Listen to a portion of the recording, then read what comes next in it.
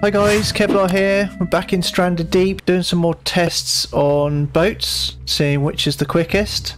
So, quick and easy test. Today's test is is it quicker to go with a sail or with a raft motor? Now, I'm sure we all know the answer, but let's just see how much quicker the raft motor is going to be. So we already tested whether it's quicker to have two sails compared to one or if the different size boats make a difference and we already know that none of that makes a difference so just picking any boat I'm going to pick this one and we're going to go over to the island there uh, actually that one over there. Actually let's go to that one this time. Mix it up a little bit. Right so first of all we're going to go with a sail. So let's get on our rudder Ah. Okay. That's annoying because I can't see. It's fine. We'll do it without seeing. Okay, so... Yeah, let's get our rudder. Get our sail down. And... Off we go. Timer on.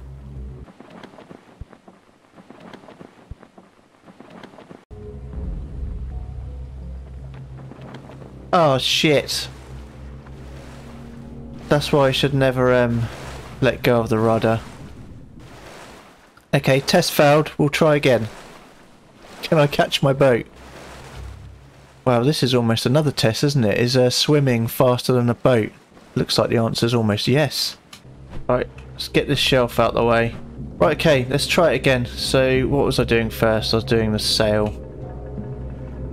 Sail down. Off we go. Timer's on.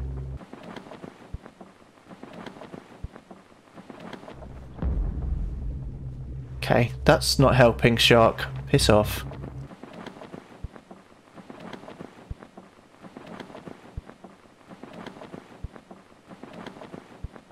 Do you feel like the current's drawing us left a little bit? I've been turning right a few times, but that's fine. We're going to use the same save for the other boat. Wow, I did pick a, a much further away island this time. Okay, we'll aim for that rock. There we go, time has stopped. 2 minutes 51, nearly 2 minutes 52. Right, so let's see how we do with the motor. Right, okay, so we need to get over to that island with the motor. Take off the anchor. Off we go.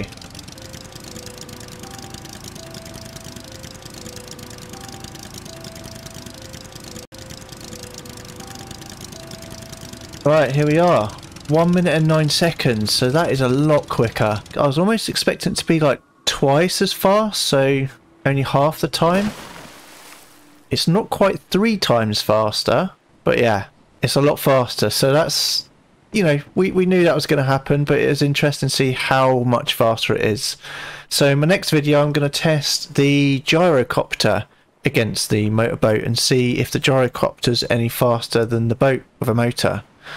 So yeah, I hope you found that useful. Please do give us a like, and if not already done so, please do subscribe for the future videos, and I'll catch you in the next one. Cheers!